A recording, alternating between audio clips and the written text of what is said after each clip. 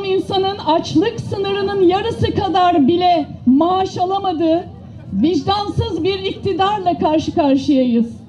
Yaklaşık iki buçuk milyon memur emeklisi daha bir yıl önce emekli olduğunda maaşının yüzde yetmiş beşini alırken iktidar yasaların arkasından dolaşarak emekli memurları devre dışı bıraktı.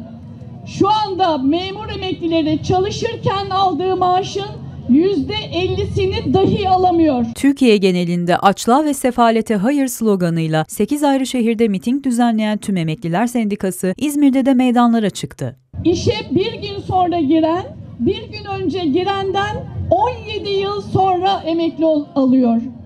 Akıl alır gibi değil arkadaşlar. Bu nasıl adalettir? Her statüde emeklisini mağdur etmekte sınır tanımayan bir iktidarla karşı karşıyayız.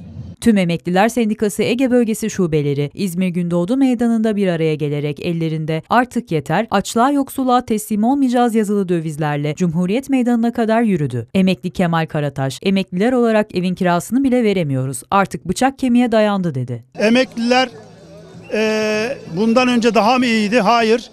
Fakat eee, artık bıçak kemiğe dayandı. Bıçak kemiğe dayanmış.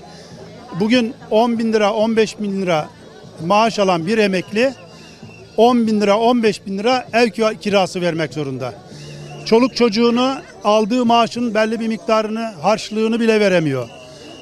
Eee, artık iktidara bundan sonra emekliye oy yok, rahat da yok. 43 yıldır çalışıp emekli olduğunu belirten Bektaş Doğan, emekliler 50 yılın en kötü durumunda diye belirtti. Emeklinin durumu 50 yıldan beri en kötü durumdayız şu anda.